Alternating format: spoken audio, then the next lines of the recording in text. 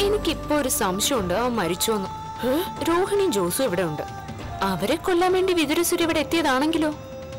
അയ്യോ എനിക്കൊന്നും അറിയത്തില്ലേ? ഹാ, ഏതായാലും ജപിച്ചു കെട്ടി ഏലസ് കളയണ്ട. പ്രേതങ്ങളെ ഒഴിപ്പിക്കാനും പേടിപ്പിക്കാനും ഇതേ ഉള്ളൊരു മാർഗം. മാറിയാലും മാറിയില്ലെങ്കിലും കൊള്ളാം. ഈ തലവേദന ഒന്ന് അവസാനിപ്പിക്കണം. അങ്ങയുടെ കൂടെ വന്നിട്ടില്ല എന്നെ സംശയിക്കുക. അതെ അവൻ ഈ ഭൂമി വിട്ടു പോകാൻ താല്പര്യം ഉണ്ടായിരുന്നില്ലല്ലോ അതുകൊണ്ട് മരിച്ച ശേഷം അവൻ ഇവിടെ തന്നെ ഉണ്ട്. ഒഴിപ്പിച്ചു വിടണമെങ്കിലേ ഒരു ഒന്നൊന്നര കർമ്മം ചെയ്യേണ്ടി വരും. അവനെ കുറിച്ചുള്ള ചിന്തകളും സംസാരവും നമുക്ക് ഉപേക്ഷിക്കാം സർ. അവൻ മരിച്ചു. ഇനി അതുപോലെ ഒരാളെ കണ്ടതുകൊണ്ട് നമുക്ക് എന്താ കുഴപ്പം?